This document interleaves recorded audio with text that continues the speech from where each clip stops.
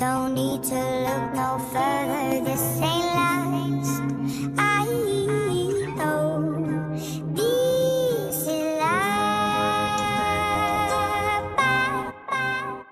Or should I?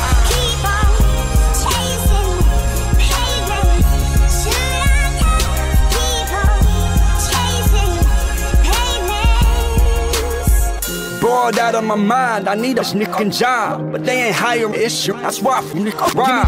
Had to hustle, cause unless you got them test scores, college is only coming around here looking for Brett Favre. For the next star, or if you six far. And if you can pitch, but other than this shit, you just pitch raw. That's why I'm pissed for. Cause if you ain't worth a couple dollars, these scholars looking like, what do we need him for?